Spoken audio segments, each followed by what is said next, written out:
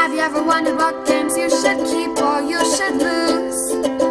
Find out here at Purge Reviews. So this is Venice by Braincrack Games. This is one of the worst uh, packages of components I've ever seen in my life. So this box, I cannot stress to you how cheap it is. It came cracked. It came like this. I've contacted the company. They've refused to replace the box at all. I wouldn't usually uh, call it a replace a box, but this is kind of egregious, and there's more to it. If it was just a box, I probably wouldn't do anything. But just know that this box is full of things that are in here, and this is one of the cheapest boxes I've ever seen. They spent the money on this. I wish they would have spent the money on the quality of the box. This box will fall apart for most people. Anybody who's kind of saying that's not the case likely got a free copy. I purchased my copy from my local gaming store. So either invest or something. This is what this is not your normal game board box. This is very, very cheap. You're going to get a rule book, which is kind of peruse through it. The rules are terrible. Uh, not very clear at all. You're gonna have a lot of questions after this. You're gonna have to go to the facts and on game uh, Board Game Geek and get answers. It looks nice in parts. of these pictures that are here. This looks great. It's a game overview, but doesn't really tell you a lot about the game. You're gonna have questions about setup. It's not gonna be very clear where you put things and what they do. And you go through a player's turn here. So a lot of the rules are going to be here. You're also going to have rules that are going to be in these boxes here. And one of the problems that we had is there are rules that are in here for kind of moving around. And then they're over here also. So like one of the questions we had that wasn't completely clear was about advancing assistance and activating buildings. These appear to be two different things. There's a lot of times that advancing assistant will be called something else, but they mean this, not this. And it's not clear in here always because it's broken down. So here's all the rules, and then here's all the rules. And you don't always know where to refer to.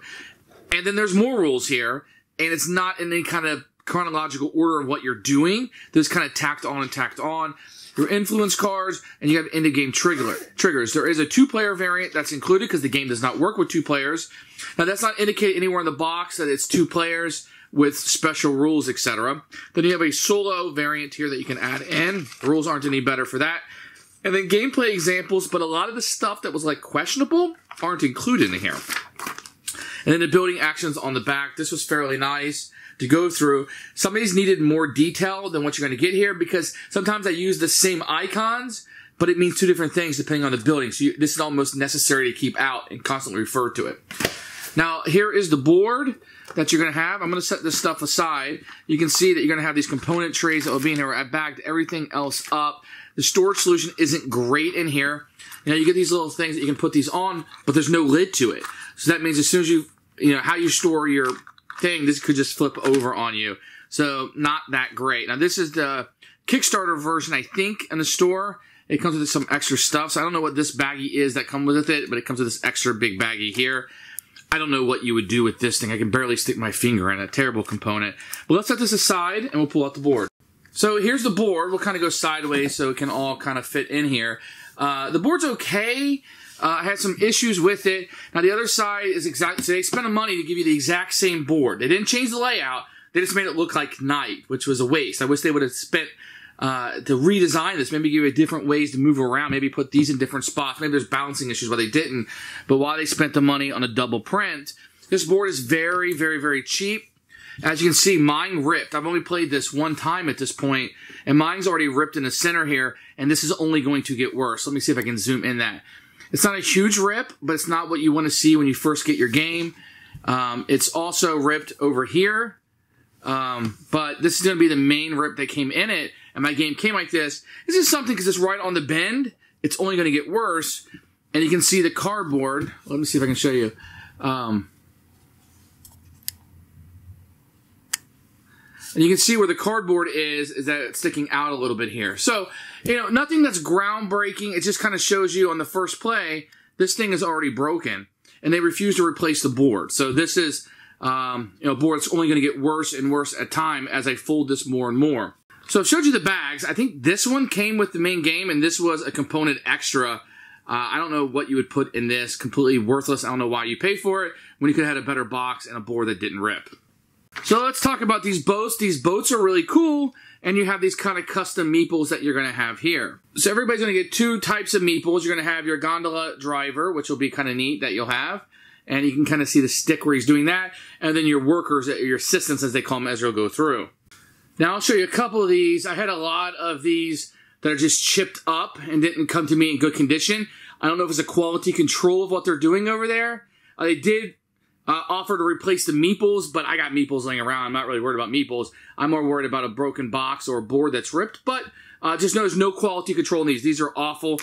Another thing is you get these bridges. You know they're silk screened. Uh, they look pretty neat. I like these quite a bit, and they fit on the board great. And you're gonna have these little boo bobs and stuff, and these are nice. Uh, the one issue is with this. Okay, so you're gonna be putting uh, goods and stuff on this, but they will be constantly falling off. This wasn't wide enough or really big enough because you can put five on here, and when you're shipping things, and it just doesn't fit on here very well, and they kind of fall over all the time. You're gonna have these tiles that you're put out. These are the actions. These get really crowded really quickly. So they're one sided, which is fine. That's for game purposes. You can shuffle. But when you're putting, you know, four workers on one of these spots, you can no longer see what you're. For one thing, they don't fit on there. Uh, you know, you have to kind of squeeze them on there. This one's hanging off the edge here. But now I can't read. So every time I want to utilize this, I got to take this off and then squeeze everybody back on. But if I don't put it per perfectly, you might think that purple one is up here, but it's not. It's kind of squeezed on here. So the tiles were too small for what you were trying to get in the game. So the components really just don't fit the game that they're trying to get here. You're going to get some cardboard money, which is fine. You're getting tens, fives, and ones in their cardboard. The card quality is fine. The cards are a little thin. I'll be very honest with you. They feel almost like mass market cards. They didn't spend any money on it. The uh, artwork is atrocious. I mean, you just get a picture of a component. There's no artwork whatsoever to be seen on here. Nothing to draw you in. I do like words better than icons. That's helpful, but some of these you just don't know what to do. There were a lot of, and I'm not the only person on the BGG forums that are having issues with these cards. Cheap, lack of, you know, quality artwork. I mean, what does that mean? And a lot of these are very similar and just have minor differences, and they're very hard to understand. Now, I did get the upgraded components with the Kickstarter. It has metal coins. Those are nice. And you get these little cubes. So let me kind of zoom in on this. So what we have here is the gondola, a gondolier on the back. And you have to be very careful when you're putting him in. It's kind of a snug fit. And you'll be moving this guy around a lot from your two boats. Now, if you look here, I got four cubes in here, but I need to put a fifth one in here. So I could put it in the front there. But now let's say I need to get this white one out. It's a little difficult to get these out. And a lot of the game you're going to do is you're going to accidentally knock this over. The gondolier comes out and you're putting it back in. It's just very fiddly. Had this been a little bit wider, come on, gondolier, get in there. Been a little bit wider or just a tad bit bigger, I think this would have fit better on. What we ended up doing a lot of times was just stacking this on there, which doesn't look as cool. It's not thing, but you're constantly moving this and the cubes are falling out. It's just something to take a note of. It wasn't very well designed. In addition to get these player boards, these are actually fairly nice. Let's take a look at one of these. You're going to have to be tracking the scrolls. You're going to be tracking the influence here. It has what you do in a turn over here and a place for your cards. Uh, it is a note. I didn't see in the rules anywhere, but it could have been there that these are double sided. I didn't see that at first. Could have been something I overlooked but you need to make sure that each side you have for the different players. These are fine and good quality. So this is a Venice unboxing. I gotta say, this is one of the worst put together games for what is a beautiful game. It was obvious that somebody wanted to put some nice components into this, but didn't know what the heck they were doing whatsoever. You got the cheap boxes, you got the boats that are too small, even the upgraded components aren't worth diving into. You can totally skip them. I'm sure you have some metal money laying around. Uh, the gondoliers are cool, but they're, they're, they're too tight of a fit for those boats. This is an awful, atrocious uh, component wise. So if you want to see beautiful artwork like this, this is not in the game. This is here to deceive you to make you think this is going to be in the game, but it's not. You saw the artwork. Nothing like this is inside of the game. This is a deception at its best. I had some component issues. The company was unwilling to fix any of those. Uh, you know, that is up to the company. They can do whatever they want with their company. But I got to tell you that a lot of deception going on here. The components kind of look nice from afar, but they're not very functional very fiddly. And then the artwork they decided to present is not inside the box.